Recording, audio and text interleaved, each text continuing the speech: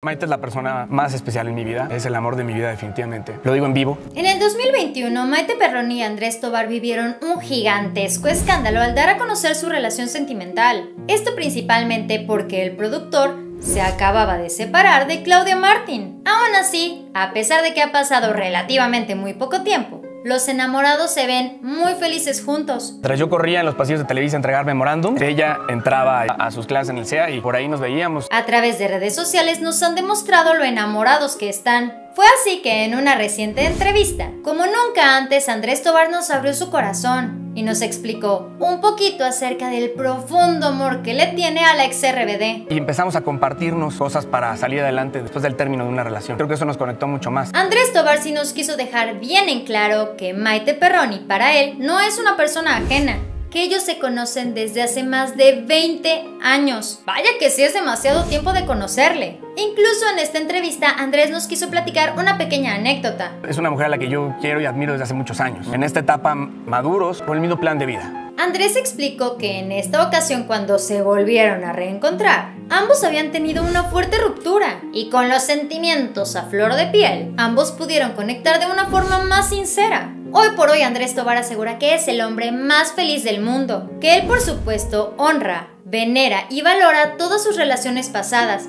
pero que sin duda alguna Maite Perroni es la mujer más hermosa de todas. Andrés Tobar incluso platicó que cuando Maite Perroni llegó a Nueva York a vivir, él literalmente estaba a tres cuadras viviendo ahí. Ellos eran vecinos. Paralelamente, ahí siempre estuvieron. Respecto a cómo inició su romance, Andrés Tobar platicó que ambos se encontraron en una ocasión, estuvieron hablando de un proyecto de Andrés y de la nada salió el tema de que al parecer los dos estaban disponibles, sentimentalmente hablando. Recordemos que hace tan solo unos días Maite Perroni inició este 2022 de una manera muy sensual en su cuenta de Instagram. Maite dejó atrás esa imagen de chica buena y nos compartió unas fotografías al lado de su pareja, que sí nos dejaron con el ojo cuadrado. Rápidamente esas fotos se volvieron tendencia por todo internet, y aunque por supuesto estuvieron chuleando a Maite, sí mencionaron que esta relación estaba por encima de absolutamente todo lo que había hecho Maite. Incluso varios fanáticos de la actriz aseguraron que Maite Perroni era una nueva persona después de haber grabado la producción de Netflix Oscuro Deseo.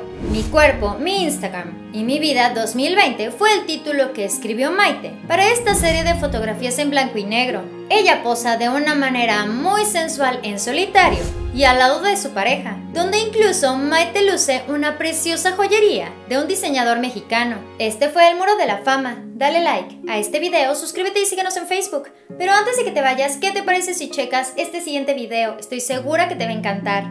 Espero que tengas un excelente día. Nos vemos muy pronto. Bye.